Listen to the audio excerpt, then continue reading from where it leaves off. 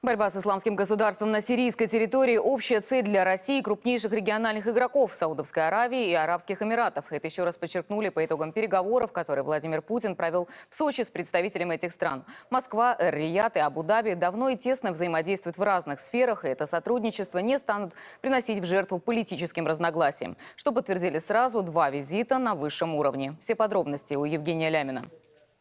Это событие широко не анонсировалось, но его значение сложно переоценить. В Россию на встречу с Владимиром Путиным прилетели заместитель Верховного главнокомандующего Арабских Эмиратов, наследный принц Абу-Даби Мухаммед Аль-Нахаян и саудовский министр обороны принц Мухаммед Бен Сальман. Президент встретился с ними в Сочи. Борьба с терроризмом, сотрудничество стран военно-технической области – темы, которые обсуждались за закрытыми дверями. Но, конечно, главной стала обстановка в Сирии. Позже некоторые детали переговоров раскрыли министры иностранных дел России и Саудовской Аравии. Было подтверждено полное совпадение тех целей, которые Саудовская Аравия и Российская Федерация преследуют в отношении Сирии. Это прежде всего, конечно, недопущение того, чтобы в Сирии восторжествовал террористический халифат.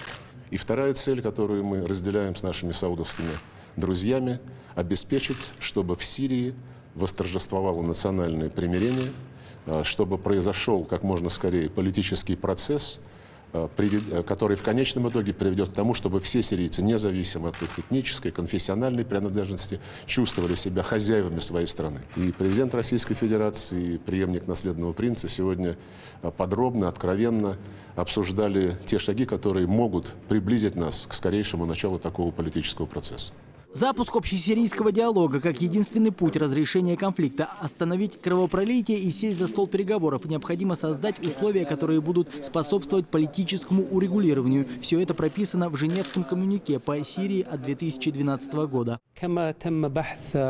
Главная цель наша с российской стороной – это найти пути активизации и найти общие платформы для выполнения Женевского коммунике с тем, чтобы сохранить единое сирийское государство, чтобы все части этнические, конфессиональные жили в мире и согласии.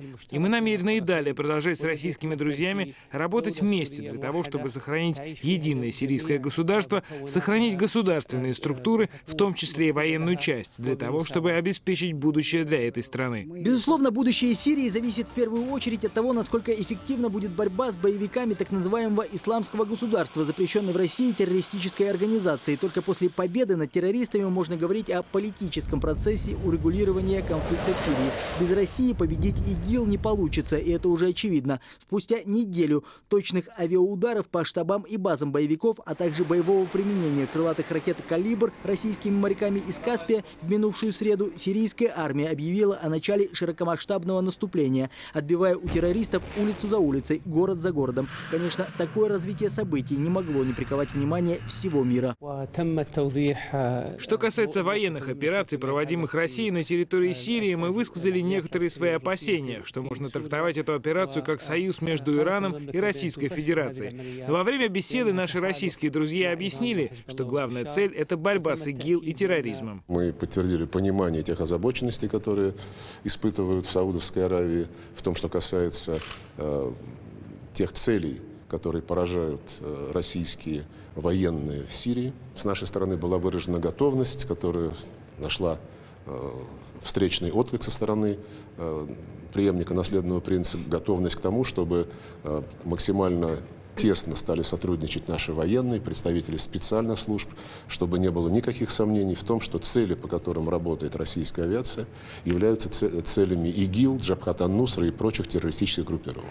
После того, как будут уничтожены группировки террористов, в этой стране начнется политический процесс. По заявлению главы российского МИДа Сергея Лаврова, конечная цель – скорейший запуск общесирийского диалога, которому должны способствовать все внешние игроки, имеющие влияние на те или иные политические военные силы в Сирии. И такие договоренности, как сообщается, были достигнуты. Вообще, эта встреча дает новый виток более тесному взаимодействию двух стран по вопросу политического процесса, как в Сирии, так и в целом на Ближнем Востоке, а также в вопросе противодействия терроризму. Евгений Лямин, Константин Жуковский, Первый канал.